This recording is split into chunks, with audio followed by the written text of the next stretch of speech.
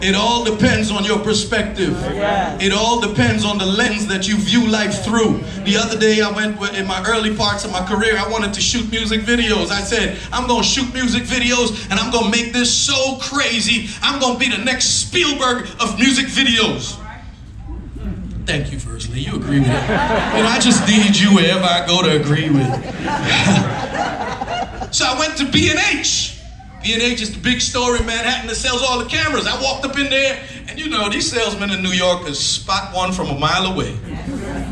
I just set it on my forehead. so I walked up, I said, hey man, I want a camera that's gonna shoot movies, man. I, I, I want to be the next. He said, I got you, I got the camera for you. Brought out the camera, he said, this camera right here. He said, it's a little pricey, but you know you gotta invest if you really want to get to that level. I mean, selling me the whole thing, man. I'm okay, bet. So I bought the camera, I go home, I'm shooting everything. I'm shooting everything that I can shoot. I went home, uploaded it on the computer. The footage looked like, like, yeah, I remember flip phone.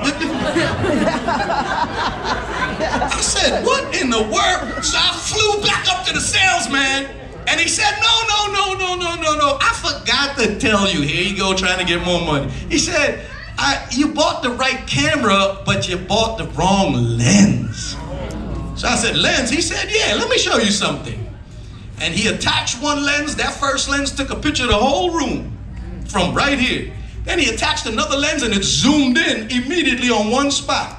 I mean, if you looked in the same camera but changed the lens, you would never know you're looking in the same camera. And every time he changed the lens, it gave a different perspective. How many of you know that when you live this life, there are many things that are trying to become your lens? Your abuse, your hurt, your church hurt. And you have a choice. You can either change that lens and be free, or you could keep that lens on and keep viewing life through whatever picture that is. But you might be getting the wrong picture. All right, that's good. Everybody don't hate you. Right. Come on, talk to me in this place. Yeah. You know, some people go, everywhere I go, people hate me. I don't go to church because they don't like me in the church. I quit the last job because everybody in the job like, you mean all 12,000 people in that building don't like little you? All right. You mean it's everybody? It's the government. Hmm? it's, it's the political system why I'm here. And we create, we be complaining about America 4th of July with all types of ribs. This country's so bad. We're some ungrateful people. I say nothing to me in this place. And we, we, because we just expect God to be an ATM.